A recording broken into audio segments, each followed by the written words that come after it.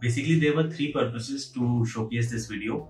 Number one was that if a hair transplant is done properly with experienced and uh, skilled hands, the results are very satisfying, very natural, as you can see.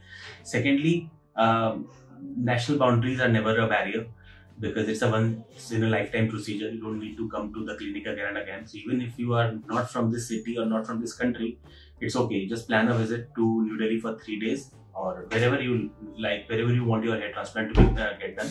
Don't get restricted by region. Feel free to travel because it's a three-day investment and the results are for a lifetime. And thirdly, and the most important thing we want to showcase here is that hair transplant is an illusion that is being created. We are not doing a hair to hair replacement of what you lost because that's not possible. So, in an area where you lost approximately, let's say, 25 to 30,000 hair, we plant roughly 9,000 to 10,000 hair, which is only 30% of what it actually was. So, that is something that the viewer should know. Anybody who is contemplating a hair transplant should know that hair transplant is not a hair to hair replacement, it's a social coverage of baldness. But it is placed in a way that once you keep the hair, let's say 2 centimeter or longer, dry combed hair, it looks very pleasing.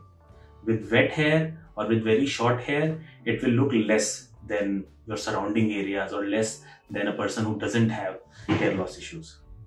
So I think that is our message from this video. So we'll sign off. This is Dr. Gaurang Krishna, hair transplant surgeon at Medlinks. Thank you.